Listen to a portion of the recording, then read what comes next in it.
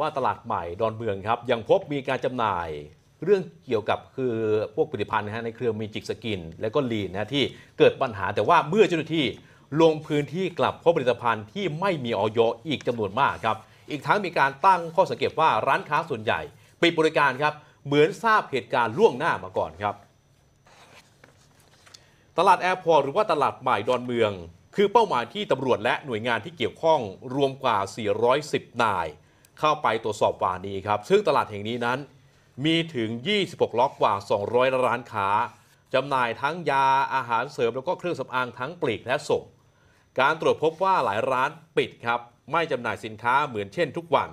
ส่วนร้านที่เปิดให้ความร่วมมือในการตรวจสอบ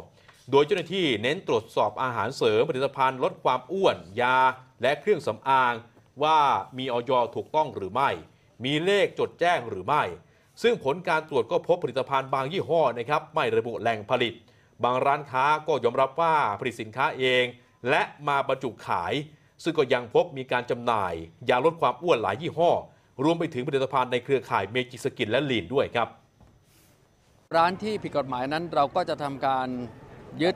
สิ่งของเนี่ยนะครับไปทำการตรวจต่อครับ ในส่วนที่ผิดชัดแจ้งก็จะดำเนินการทางกฎหมายเลย ในส่วนที่ต้องไปตรวจ สารประกอบว่าตรงกับเทียบฉลากที่ติดหรือเปล่านั้นก็ต้องใช้เวลาครับ เพราะฉะนั้นในส่วนที่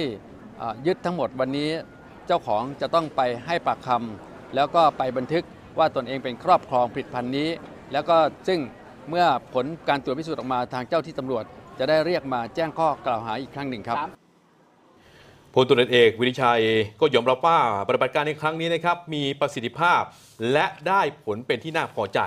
เนื่องจากว่าสามารถตรวจยึดผลิตภัณฑ์ที่ไม่ได้มาตรฐาน และไม่มีเครื่องหมายออยเป็นจำนวนมากพร้อมทั้งสั่งการให้ขยายผลตรวจสอบ และดำเนินคดีกับผู้ค้า ส่วนร้านค้าที่ไม่ได้เปิดให้บริการก็ต้องตรวจสอบว่าข่าวรั่วมาจากหน่วยงานใด รวมทั้งต้องตรวจสอบว่าตลาดแห่งนี้